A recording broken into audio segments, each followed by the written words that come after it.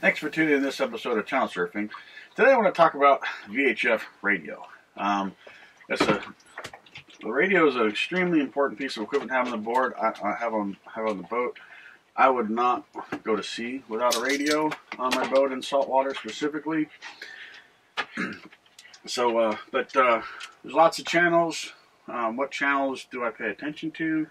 Uh, how do I have my radio configured? We're going to go over all of that in this video. So without any further ado, let's get started.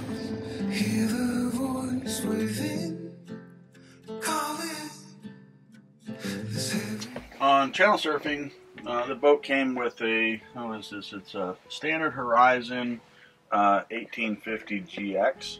Uh, it's the, the of the factory deployed. Um, it's a it's a fantastic radio. Standard Horizon makes really good radios. Um, it's worked well. The thing I didn't like about the radio initially was that it's located right here, which is hard um, to hit the, the, the numbers and stuff. Being that the radio's here, if I'm driving the boat, trying to get down here to push the buttons and all that is somewhat challenging. The other thing is I also found that it was a little bit difficult to hear sometimes. Uh, radio transmission isn't always um, fantastic based on who's transmitting and how far away they are. So an external microphone I thought would be really cool. And uh, one of the best things I did was actually this. This right here.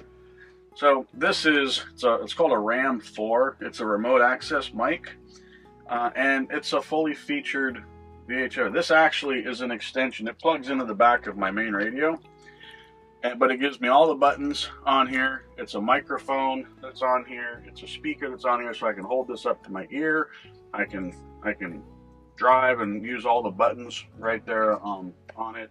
And also, has a different volume for it. And it hangs. I put it here in the aisleway so that uh, LaZina could actually hear the radio. Maybe I miss it and she can hear it. Right, so it, has been a pretty good uh, addition. It's like having a second radio without actually having a second radio. So um, that that really uh, was really nice. I mean, I just don't have a lot of real estate, you know, to put second, third radio. I also keep a spare handheld. Um, handheld's great for being out on the dinghy, uh, leaving the boat. That way I can communicate back to the boat, um, for example. And it's also uh, um, good if you're traveling with somebody else to have two radios. Because usually if I'm traveling in a group, I'll leave the um, handheld, so I'll flip it up here I'll sit like that while I drive. Um, and that way, this is dedicated to the group that I'm traveling with. We'll usually monitor channel 72 and talk on that. And that way, it frees up the main radio um, to pay attention to the important channels. So, what are the important channels? What is it that I pay attention to, right? Well, channel 16 is your uh, hailing and distress. So, you're not supposed to have any real conversations on there. It's meant for calling maydays, talk to the Coast Guard for for help, um, or if you want to hail another vessel, you know, and then as soon as they acknowledge you, then you tell them what channel you want to switch to. You know, channel 6, 8, and 72 are popular um, recreational channels to talk on. Um, however, um, channel 9 is the new hailing um, channel. So if you want to hail somebody, you're supposed to do it on channel 9. So everybody's supposed to monitor channel 9 and channel 16. So how do you do that? Well, your radio, all radios, um, VHF radios have a scan function.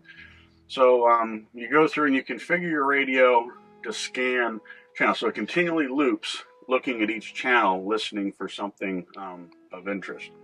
So uh, what channels do I scan the total? So I always scan channel 9 because that's the new hailing channel. I always scan channel 16 because that's hailing in distress and Coast Guard.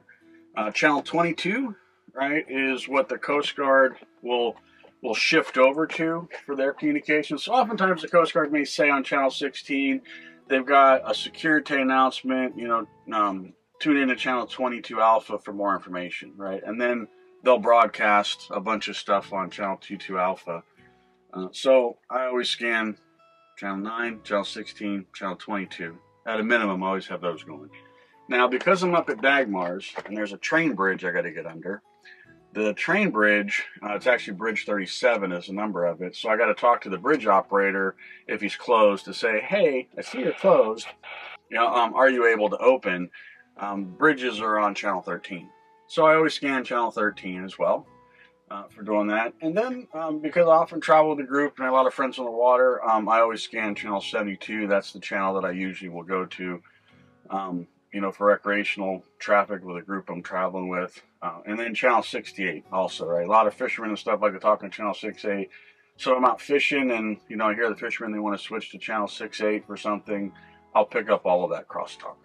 So the channels I'm always scanning, if you want to take note of this, channel 9 and 16 for hailing, channel 22 for the Coast Guard, channel 13 for bridges, and then channel 6, 8, and 72. So with me driving, if you guys ever saw me out in the waterway, you know, wanted to hail me, you could just hail me straight on channel 72 and my radio will pick it up because I'm always scanning um, all those channels.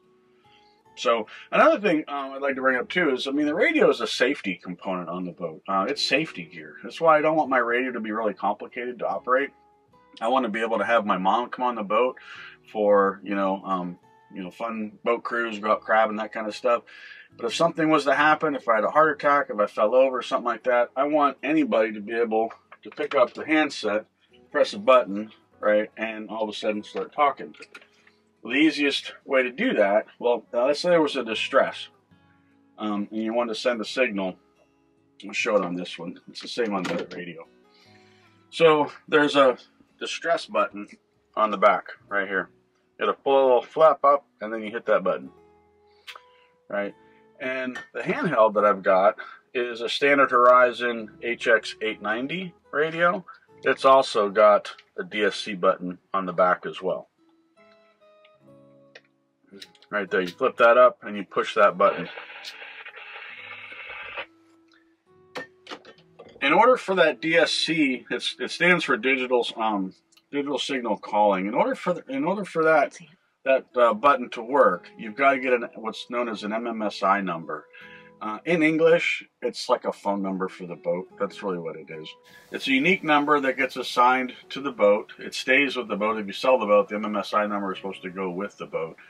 Um, two agencies issue them. Boat US will do one for um, for basically free, but that's all, that'll only work within the United States. Um, or um, if you go to the FCC, they charge I think it's a little over two hundred dollars for ten years for an MMSI number, but then the then your number works when you're in um, Canada.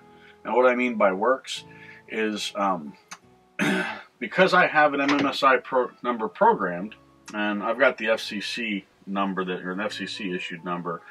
I hit that DSC button. All I did was press the one button. It will digitally send out an SOS. Basically, all the boats in the neighborhood will hear that on their radios. The Coast Guard will hear that. They will know the MMSI number. They will know my GPS position. And the Coast Guard has access to the database on the back end that will know my name, my phone number, the type of boat, make of the boat, color of the boat, uh, uh, how many people are usually on the boat. Um, I have my cell phone number uh, on there. It just it gives them all that information without me having to say a thing. So it speeds up all that. Um, uh, another thing to keep in mind too is on your chart plotter, right? So I want to show this. On the chart plotter, there's an SOS button here. Click that, and then say, what do I have? Let's say I have a fire on board.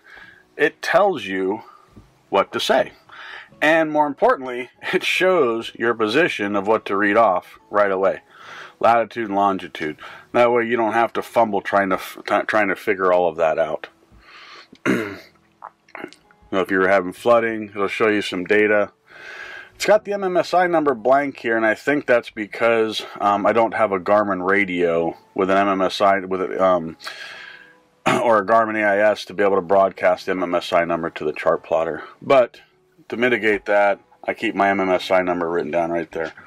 So uh, pretty useful. Um, so so say recap. So uh, configure your radio to scan channels at a minimum channels 9, 16, and 22. Um, and then a recreational channel 6, 8, or 7, 2 um, is also good to, to scan. And that's it. If you have any questions, please leave them in the comment section below. Thanks for watching. If you enjoyed watching this video, click the screen to watch another.